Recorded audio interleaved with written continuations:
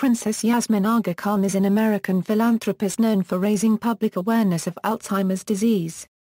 She is the second child of American movie actress and dancer Rita Hayworth, and the third child of Prince Aly Khan, Pakistan's representative to the United Nations from February 1958 until his death in 1960.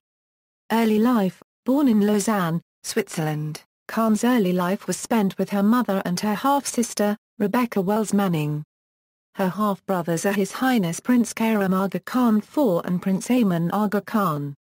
She attended Buxton School in the International School of Geneva. In 1973, she graduated from Bennington College in the United States and was originally interested in operatic singing. Philanthropic activities Influenced by the death of her mother, for whom she cared for many years, from Alzheimer's disease, Yasmin Aga Khan serves on the board of directors, as vice chairman, Alzheimer's and Related Disorders Association. She is also the president of Alzheimer Disease International, a national council member of the Salk Institute, and a spokesperson for the Boston University School of Medicine, Board of Visitors. She also serves on numerous boards of the Aga Khan Foundation.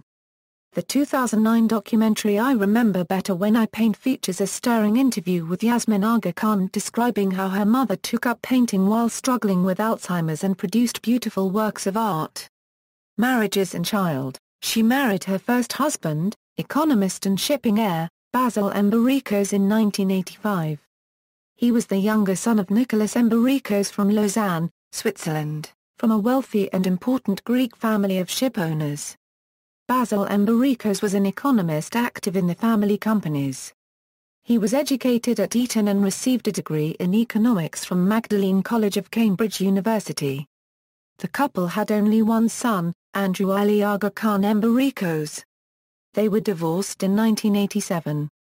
Andrew, their only child, died at 25 in an apparent suicide, on December 4, 2011. She married her second husband, lawyer and real estate developer, Christopher Michael Jeffries, in 1989. He divorced her in 1993, charging abandonment. References External links, ADI, Alzheimer's Disease International at the Wayback Machine.